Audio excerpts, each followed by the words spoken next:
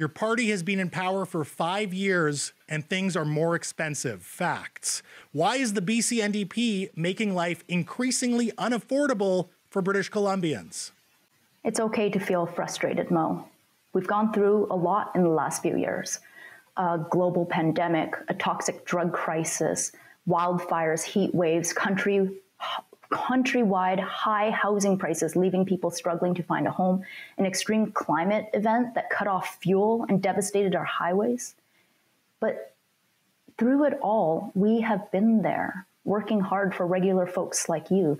We've tackled money laundering and toxic speculation in the housing market, changed laws to improve housing security for renters, and started building homes at record pace.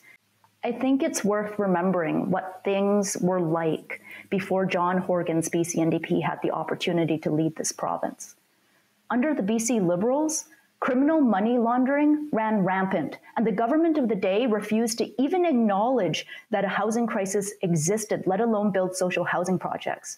They refused to invest in new hospitals, fired thousands, thousands of healthcare workers, slow walked seismic upgrades, and closed 250 schools while ignoring the childcare crisis, allowing ICBC's deficit to balloon out of control, and the scandals selling land to their friends, public contracts to big donors. Is there more for us to do? You better believe that there's more for us to do. But since the beginning, we've been working hard for you. And I'm 100% confident that we're our province is in a better position today than we would have been under the BC Liberals. And Mo, I think you know that too.